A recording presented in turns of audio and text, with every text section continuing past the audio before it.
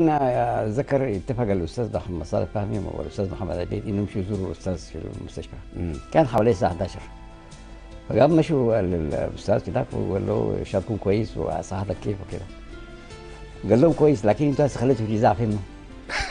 الإذاعة؟ أنا المدير بتاع الإذاعة هنا لما جيت في المستشفى. أنت نائب المدير والمراقب العام نائب المراقب العام وأنت مراقب الأستاذ خليته في الإذاعة يا أستاذ محمد صالح فهمي أرجع وأكتب استيضاح لنفسك. اقسم من الشهر ده يوم من مرتبك. واكتب للاستاذ محمد عبيد برضه يعني واقسم منه يوم. الأستاذ محمد صالح فهمي جاء قال آه، الأخ محمد صالح فهمي أرجو أن توضح لماذا خرجت أثناء ساعات العمل الرسمية. ال- على هذا الأساس خصم منك يوم من راتب هذا الشهر. يا سلام. محمد صالح فهمي نائب مراقب الاذاعه وعمل الرسالة واداهم الحسابات وخصم منهم يوم يوم في نفس. الأستاذ مطلع عيد كان راجل